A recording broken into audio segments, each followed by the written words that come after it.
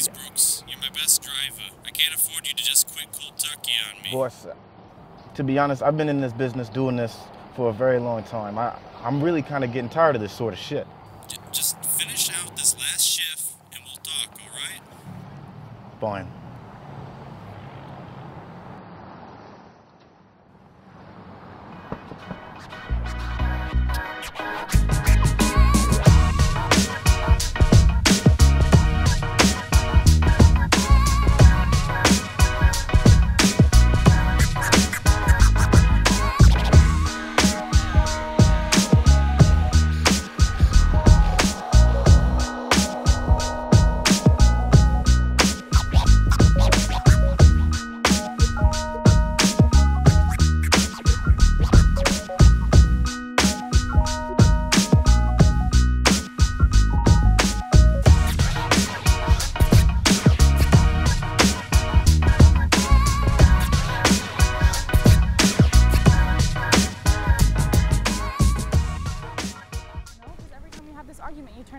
Around and make yourself a victim.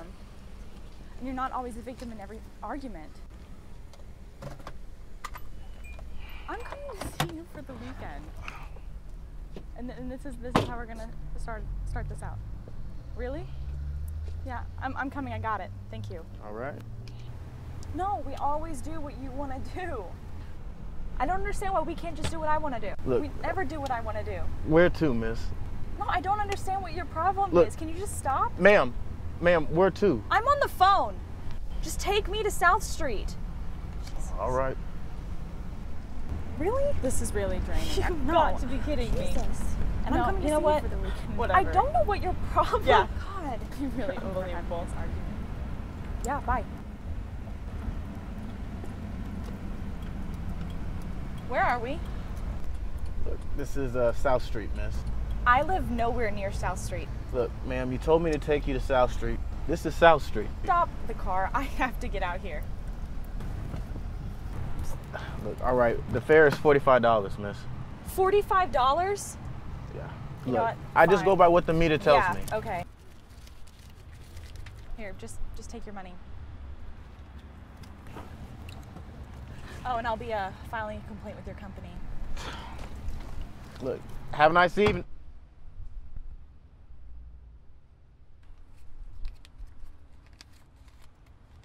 Are you serious? She shorted me $25.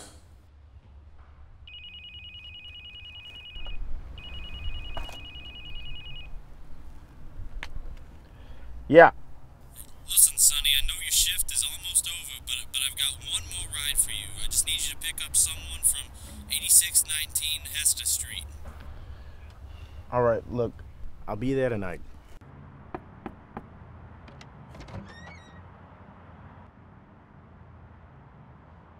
Good evening, ma'am. I'm your cab driver for this evening. May I please take your luggage? Thank you so much. Before we depart, would you care to come in for a cup of tea? Sure, I'm I'm not really on a schedule right now. Wonderful. Please, come in. I insist. The tea is almost ready. Miss, would you like some help? Oh, please, call me Pearl.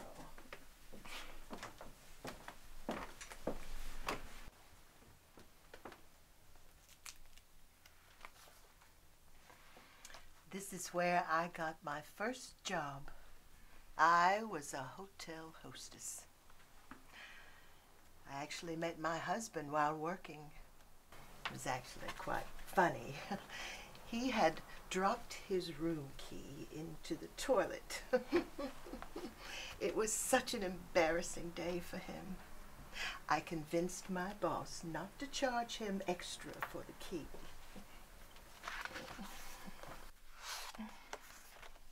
I used to come here every day when I was young.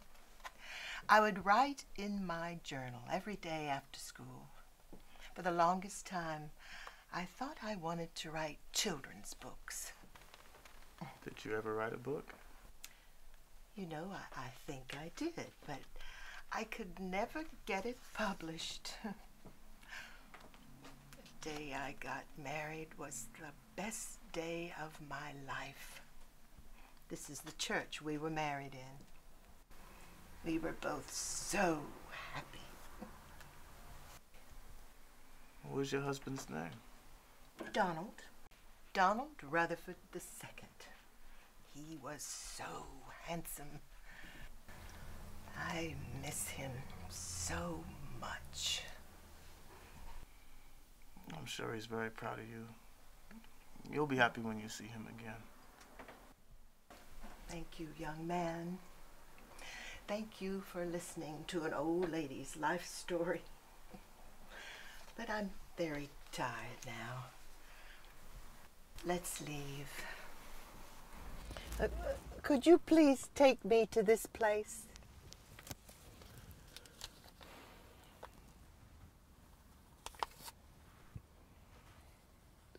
Uh, Pearl, this is all the way on the other side of town. Uh, I mean, it could take a while. That's fine. I, I'm in no hurry.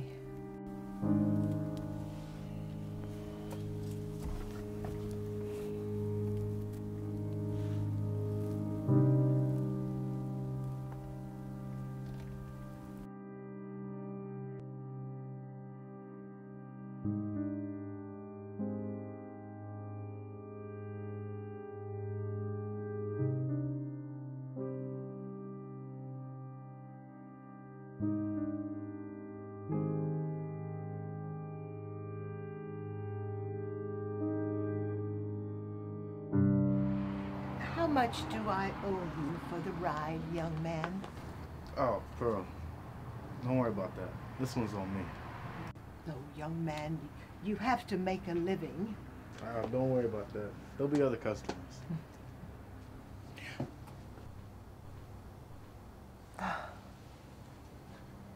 You gave an old woman a little moment of joy.